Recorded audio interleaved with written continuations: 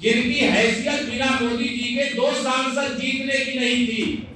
मतलब बिहार में दो सांसद जीते थे श्री नीतीश कुमार जी। आज वो प्रधानमंत्री बनने के मुंगेरी लाल के हसीन उत्तर प्रदेश के डिप्टी सीएम केशव प्रसाद मौर्य महोबा पहुँचे, जहाँ उन्होंने अपने राजनीतिक विरोधियों पर जोरदार हमला बोला। नीतीश कुमार से लेकर राहुल गांधी तक, वो विपक्षियों पर जमकर गरजे। 2024 के चुनाव की बात करते हुए उन्होंने सबसे पहले नीतीश कुमार पर निशाना साधा।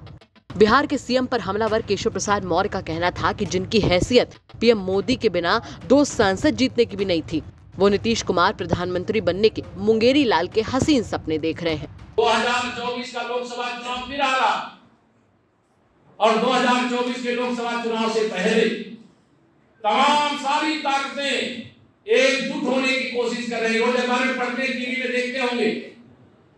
जिनकी हैसियत बिना मोदी जी के दो सांसद जीतने की नहीं थी। मतलब बिहार में दो सांसद जीते थे श्री नीतीश कुमार जी। आज वो प्रधानमंत्री बनने के मुंगेरी लाल के हसीन सपने। वहीं ऐसा नहीं है कि केशव प्रसाद मौर्य सिर्फ़ नीतीश पर निशाना साधकर शांत हो गए हों। नीतीश के बाद उनका अगला निशाना थे राहुल गांधी।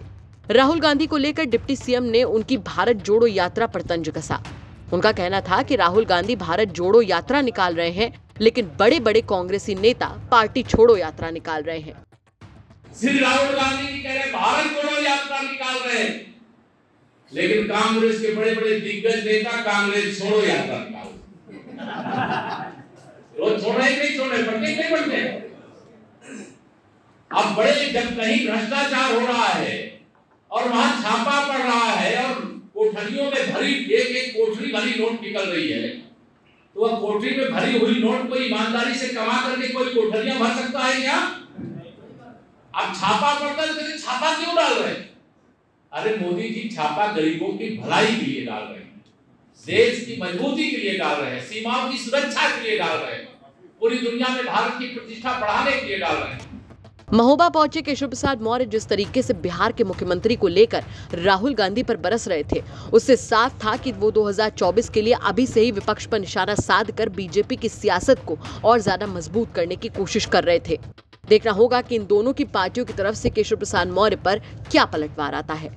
नाहिद अंसारी के साथ ब्यूरो रिपोर्ट, यूपी तक।